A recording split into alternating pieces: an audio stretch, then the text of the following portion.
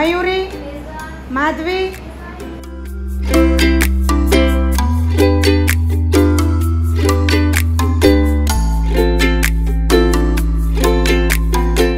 મારું નામ વંશિતા હિરાની છે. હું શ્રેયાન સ્કૂલમાં ઇંગ્લિશ મીડિયમની હેડ તરીકેની ભૂમિકા ભજવું છું. શ્રેયાન સ્કૂલ વિશે જેટલું કહીએ એટલું ઓછું છે. ઓગણીસો અને સત્યાસીમાં શ્રેયાંશ વિદ્યાલયની સ્થાપના કરવામાં આવી હતી અને બે હજાર નવથી અમારા ત્રણેય ટ્રસ્ટીશ્રીઓ ડૉક્ટર ચિરાગભાઈ માઢક પ્રશાંતભાઈ જાની અને મહેશભાઈ મહેતાએ પોતાના હાથમાં સ્કૂલનું સુકાન સંભાળી અને સ્કૂલને નવચેતના ચેતના આપી હતી.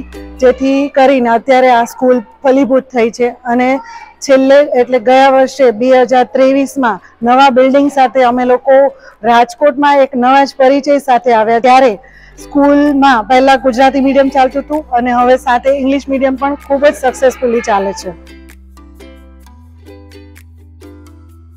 હવેનું ભણતર કેવું હોવું જોઈએ? તો કે પ્રેક્ટિકલ હોવું જોઈએ. પ્રેક્ટિકલ લર્નિંગ વગર કંઈ પણ આવડતું નથી.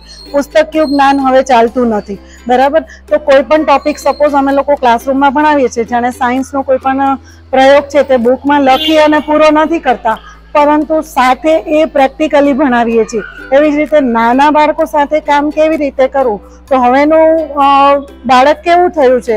તમને ક્યાં મળશે? તો કે બેડ ઉપર ઓર સોફા પર. એમનો ફિઝિકલ ગ્રોથ થતો નથી. બરાબર? એટલે અમે લોકો એજ્યુકેશનમાં ની સાથે સાથે સ્કિલ બેઝ લર્નિંગ પર જઈએ છીએ. જેમાં ફાઇન મોટર સ્કિલ અને ગ્રોસ મોટર સ્કિલ ઇન્ક્લુડ કરી છે. What is fine motor skill તો શરીરના નાના નાના સાંધાઓનો ઉપયોગ કરી અને જે એક્ટિવિટી કરવામાં આવે છે લાઈક સોઈમાં દોરો પૂરવો, મોતી પરવવા, દાણા છૂટા પાડવા, જેથી ફિંગરની મુવમેન્ટ્સ થશે. ફિંગરની મુવમેન્ટ્સ થશે અને છોકરાઓના હેન્ડરાઇટિંગ સારા થશે. જ્યારે સામે gross motor skill gross motor skill શું છે? તો કે શરીરના બધા જ અંગોનો ઉપયોગ થઈ અને બોડીને જે એક્સરસાઇઝ મળે, એવી રીતે કોઈને કોઈ એક્ટિવિટી પ્લાન કરીએ છીએ જેમાં બાળકો દોડે છે ઝૂકે છે બેસે છે પાછા ઊભા થાય છે જેથી કરી અને બાળકોની ફિઝિકલ ગ્રોથ પણ સારો એવો થાય છે.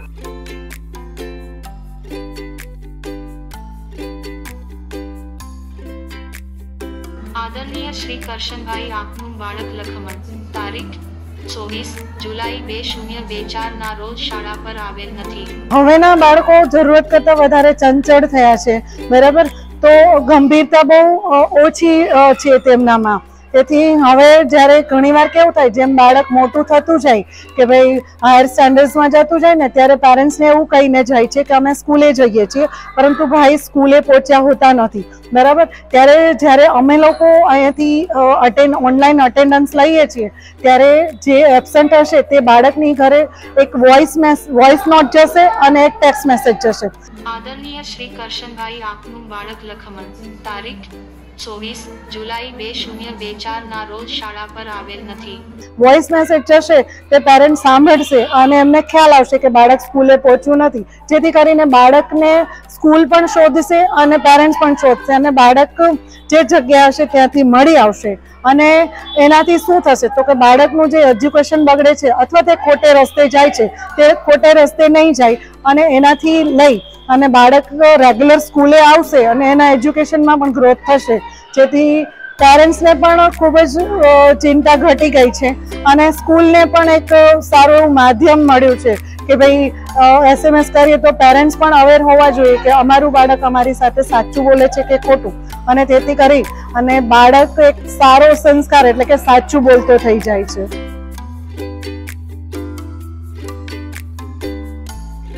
અમારી જે ફીઝ સ્ટ્રક્ચર છે, તે ખૂબ જ મિડલ ક્લાસ અને લોઅર મિડલ ક્લાસ પેરેન્ટ્સના ખિસ્સાને પરવડે એવી અમારી ફીઝ સ્ટ્રક્ચર છે.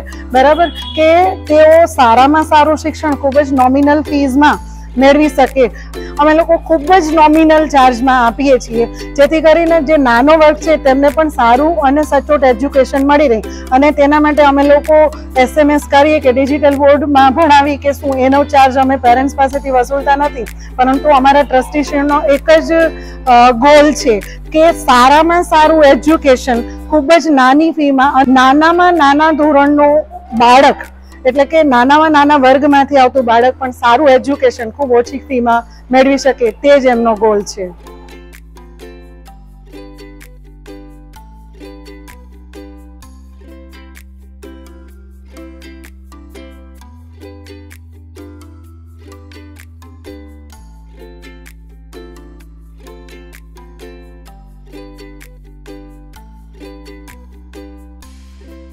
છે. મારા ત્રણેય બાળકો આ જ સ્કૂલમાં ભણે છે. શ્રેયન્સ વિદ્યાલય સ્કૂલ. સ્કૂલ તો નથી, પણ અમારું એક છોકરાઓનું ઘર જ સમજો કે ત્યાં તેમનો જે ઘરે પૂરો ગ્રોથ પૂરો નથી થતો, તે અહીંયા ગુરુ દ્વારા એ લોકોનો બધો સપોર્ટ દેવામાં આવે છે. જે અમે નથી શીખવાડી શકતા, તે એમના શિક્ષક દ્વારા શીખે છે. અમારે સ્કૂલમાંથી તરત જ આજે અમારે છોકરાઓ શું ભણ્યા છે, શું કરે છે, તે અમને બધા જ રિપોર્ટ એસએમએસ દ્વારા અથવા તો ફોન દ્વારા અમને તરત જ મળી જાય છે. અને બીજું કે અમારું બાળક ત્યાં કેટલા ટાઈમે પહોંચ્યું છે, તે શું કરે છે સ્કૂલમાં, તે બહાર નીકળો તો તે શું કરે છે, તે બહાર કેટલા વાગે નીકળો તે બધી જ જાણકારી અમને એસએમએસ દ્વારા અમારે ત્યાં જવું નથી પડતું રૂબરૂ. અમને મોબાઈલ દ્વારા એસએમએસ દ્વારા અમને તરત જ મળી જાય છે. એટલો સમય અમારો બચે છે અને અમને ખબર પડે છે કે એસએમએસથી આપણે છોકરાઓ શું શું કરે છે, શું પ્રોગ્રેસ કરે છે, સ્કૂલમાં કેટલું હોમવર્ક કરે છે, શું કરે છે બધું જ અમને આજે ક્લાસમાં પીરિયડમાં શું થયું, બાળકે શું કર્યું, બધું અમને એસએમએસ દ્વારા ખબર પડી જાય છે. ના, સ્કૂલ, એટલે અમારી સ્કૂલ તો એમ માનો કે અમારા બાળકો કેજીથી જ અહીંયા છે, એટલે અમારે જે અમે નથી કરી શકતા તે છોકરાઓ અહીંયા આવીને ખૂબ જ સારી રીતે ગ્રોથ કરે છે અને અમારા બાળકો અત્યારે અમે એટલીસ્ટ ગમે ત્યાં મોકલીએ, અમારા બાળકો પાછળ ના પડે. એટલો અમને ગર્વ છે. એટલી સ્કૂલ અમને ખૂબ જ સપોર્ટ કરે છે. ફીસ તો બધા કરતા નોર્મલી ફીસમાં કોઈ અમને એમ નથી કે તમારી અગવડતા સગવડતા બધું જોઈને તમને સપોર્ટ કરવામાં આવે છે.